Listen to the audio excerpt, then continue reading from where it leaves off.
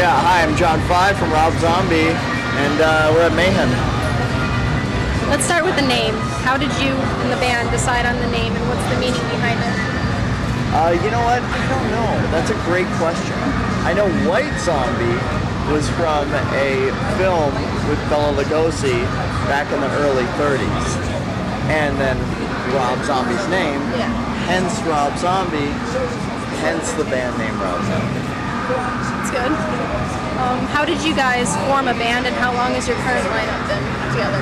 Let's see, I've been with Rob for almost nine years, and uh, then we- we got Piggy D in our band, so he's been in the mix for like probably seven years, and uh, close to eight years. And Ginger, who is from Marilyn Manson, he's been in the band for about two years.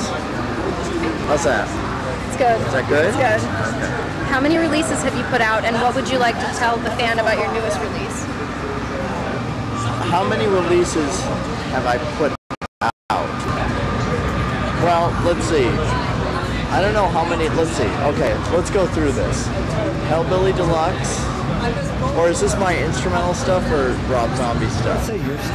Okay, my stuff.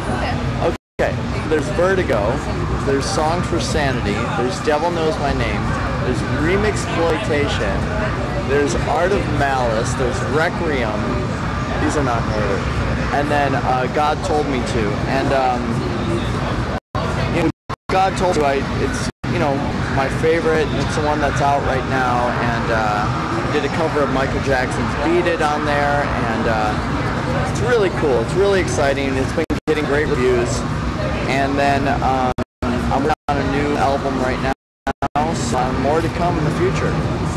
Awesome. Who are your musical influences growing up? Uh, I loved, you know, growing up, like, I just watched a lot of TV, so I would say, you know, anything that was on TV, like Hee Haw, I really enjoyed Hee Haw, and, uh, you know, she's like, what? What is Hee Haw? He's laughing, he loves it. Do you know what Hee Haw is? See? Then, uh, the Monkees, you know, I watched the Monkees, you know what the Monkees are? Who is in the Monkees? I don't know, Name but I one, remember. one person. I don't know though. Okay.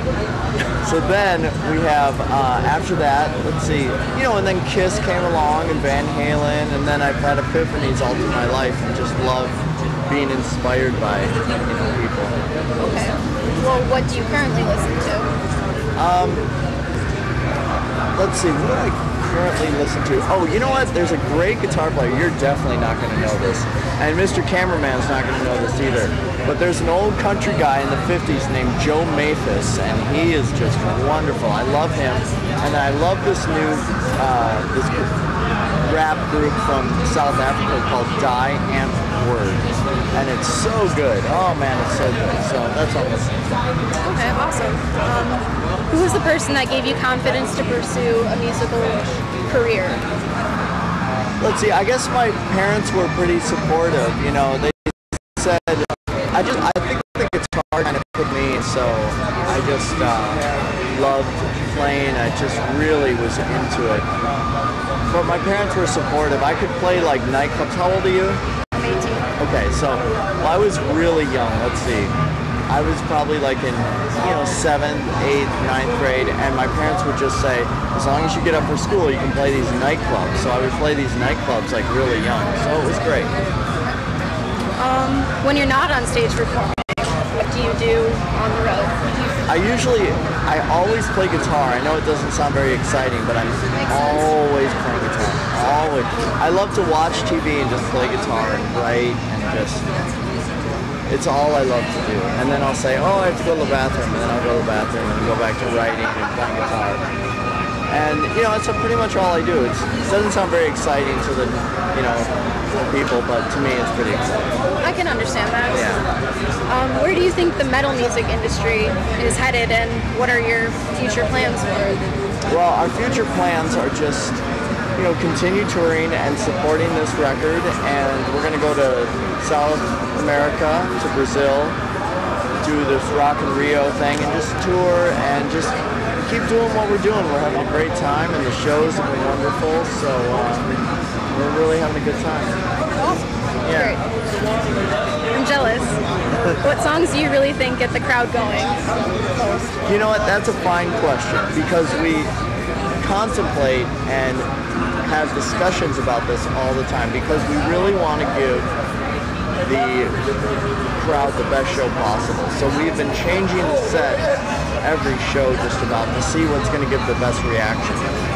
So of course you have Super Beast and you have Dragula and Thunder Kiss and uh, you know things like that. So people really enjoy it. But we're gonna throw in some old white zombie, you know, today and see you know how people react.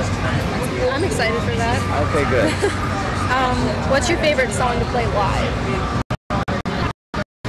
I say probably because I get a long guitar solo in it, so I'd probably say that one. Yeah.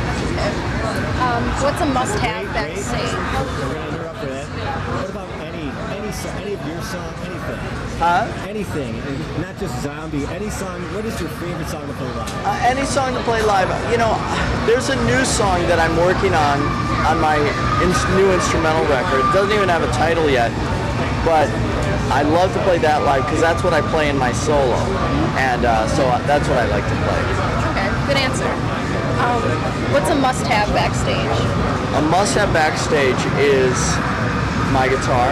Of course, I love to pick and grin. Um, and you know, I think good music. We have like a backstage playlist, you know, that we listen to to get ourselves, you know, psyched up for the show and stuff like that. So uh, just songs, and you know, I guess the other members of the band is a must-have backstage. I would hope so. Yes. Um, what would you like to say to all of your fans watching you? Um, I would like to say, you know, come out to the show. You're going to really enjoy it. You're going to love it. And everybody keep practicing because if you don't do it, someone else is going to. Good answer. Well, I'd like to thank you for coming on Rebel Access TV. Hey, this is John Five from Rob Zombie, and you're watching Rebel Access TV.